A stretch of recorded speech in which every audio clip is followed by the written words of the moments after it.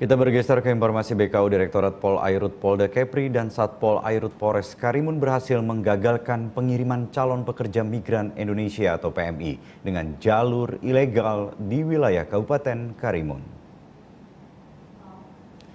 Pada hari Sabtu tanggal 6 Agustus 2022, Direktorat Pol Airut Polda Kepri bersama Satpol Airut Polres Karimun melaksanakan patroli rutin di perairan Meral Karimun Kepri.